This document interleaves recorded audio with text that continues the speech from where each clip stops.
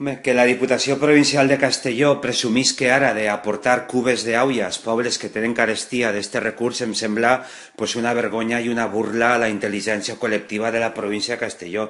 Escolta, fa 20 anys que estan governant, no hi ha hagut una política de planificació, de construcció de les infraestructures necessàries per tal d'abastir d'un recurs fonamental per entendre el progrés i la cohesió territorial. Hi ha hagut molta propaganda i molt d'atac a l'adversari en les balconades de la Diputació Diputació en els recursos de tots han estat les seues campanyes partidistes de l'aulla per a tots. No han sabut aprofitar els recursos europeus que hi havia per a aquestes qüestions. Per tant, esta és la crònica d'una vergonya, d'un fracàs, i jo us demanaria més humilitat i més capacitat de treball. bueno, ara ja acaben el seu cicle de govern, però per tant haurem de fer una valoració francament negativa.